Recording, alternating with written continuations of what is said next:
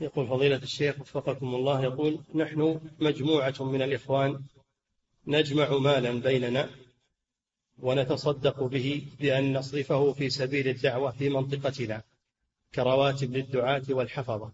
سؤاله هذا المال إذا جمعناه وحال عليه الحول فهل فيه زكاة؟ لا هذا أصله مصرف ومصرف الزكاة فلا زكاة فيه.